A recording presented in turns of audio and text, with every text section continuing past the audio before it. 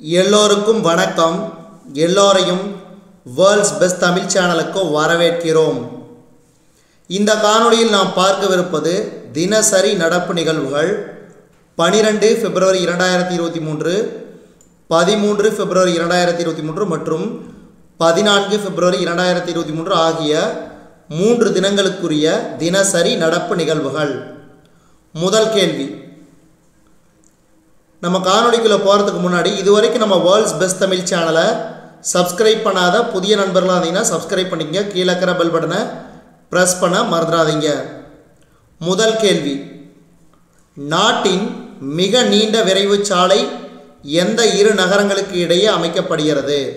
நாட்டின் மிக நீண்ட விரைவு சாலை எந்த இரு நகரங்களுக்கு இடையே அமைக்கப்படுகிறது? டெல்லி மும்பை.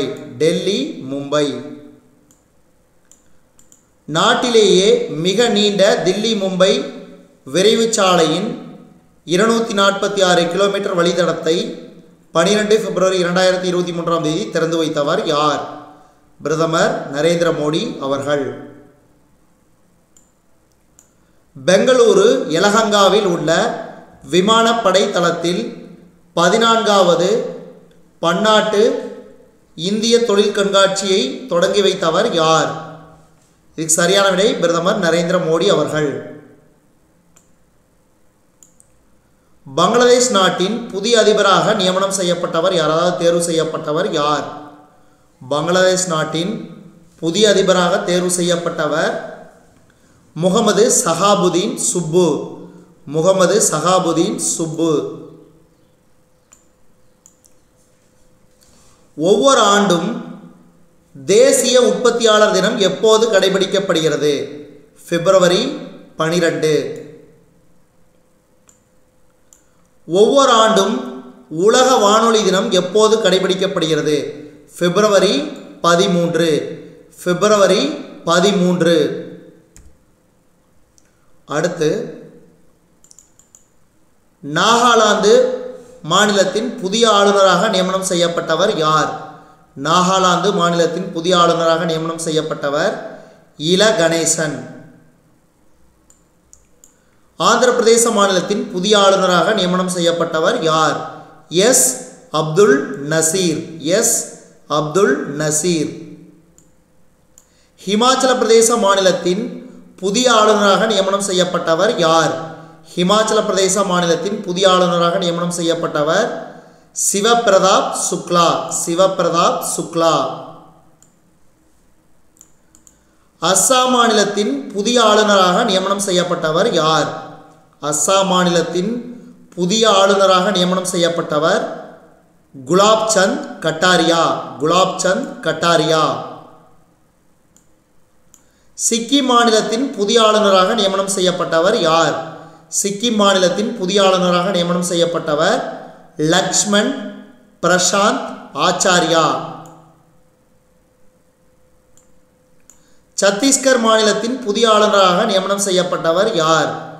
சத்தீஸ்கர் மாநிலத்தின் புதிய ஆளுநராக நியமனம் செய்யப்பட்டவர் விஸ்வபூஷன் ஹரிசந்தன். விஸ்வபூஷன் ஹரிசந்தன். மணிப்பூர் மாநிலத்தின் புதிய ஆளுநராக நியமனம் செய்யப்பட்டவர் யார்? அனுசியா உய்கே அனுசியா உய்கே. அருணாச்சல பிரதேச மாநிலத்தின் புதிய ஆளுநராக நியமனம் செய்யப்பட்டவர் யார்? அருணாச்சல பிரதேச மாநிலத்தின் புதிய ஆளுநராக நியமனம் செய்யப்பட்டவர் கைவல்ய திரிவிக்ரம் பர்நாயக்.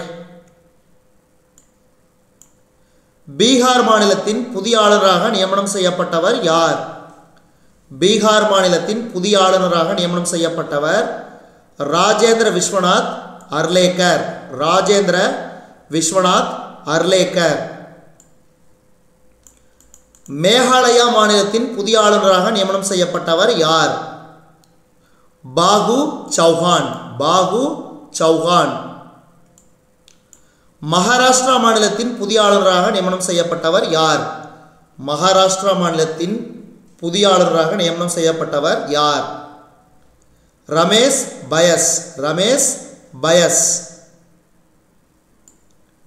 லடாக் யூனியன் பிரதேசத்தின் புதிய ஆளுநராக நியமனம் செய்யப்பட்டவர் யார்? லடாக் யூனியன் பிரதேசத்தின் புதிய ஆளுநராக நியமனம் செய்யப்பட்டவர் பிடி மிஸ்ரா. பிடி மிஸ்ரா.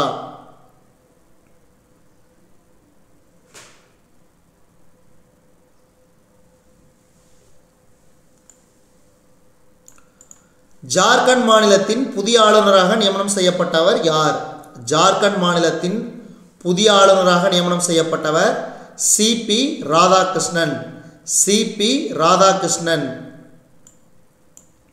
பாகிஸ்தான் நாட்டின் முதல் இந்து பெண் குடிமைப்பணியின் உதவி ஆணையராக பொறுப்பேற்றவர் யார்?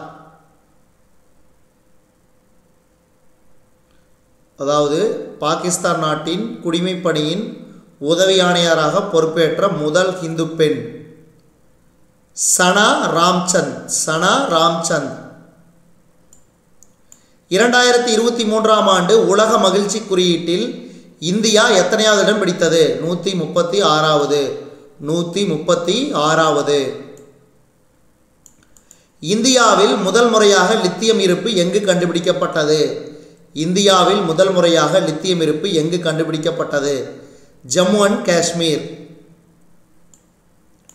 தமிழ்நாடு மாநிலத்தில் நூற்றி ஐந்து கோடியில் அமைக்கப்பட்ட நூற்றி ஆறு நவீன நெல் சேமிப்பு தளங்களை திறந்து வைத்தவர் யார்? முதலமைச்சர் மு ஸ்டாலின். மொராக்கோவின் ரபாத் நகரில் நடைபெற்ற கிளப் கால்பந்து உலகக்கோப்பை போட்டியில் ரியல் மாட்ரிட் அணி எட்டாவது முறையாக சாம்பியன் பட்டம் வென்றது. சொந்த மண்ணில் அதிக முறை ஐந்து விக்கெட்டுகள் எடுத்த வீரர்களின் பட்டியலில் இந்திய சுழற்பந்து வீச்சாளர் ஆர். அஸ்வின் மூன்றாவது இடம் பிடித்தார். சென்னை மாநகராட்சியில் சிங்கார சென்னை டூ பாயிண்ட் ஓ திட்டத்தில் நாற்பத்தி இரண்டு பணிகளை மேற்கொள்ள ரூபாய் தொண்ணூத்தெட்டு புள்ளி ஐம்பது ஐந்து ஒன்று ஐந்து ஒன்பது கோடி நிதி ஒதுக்கீடு செய்து தமிழக முதலமைச்சர் மு. ஸ்டாலின் அவர்கள் உத்தரவிட்டார். தமிழ்நாடு மாநில முதலமைச்சர் மு. ஸ்டாலின் அவர்கள் உத்தரவிட்டார். இந்தியாவில் நடைபெற்ற முதல் எஃப்ஐஏ ஃபார்முலா இ கார் பந்தயமான ஹைதராபாத் e இ ஃப்ரீ போட்டியில் பிரான்ஸ் கார் பந்தய வீரர் ஜூன் எரிக் வெர்க்னே வெற்றி பெற்றார்.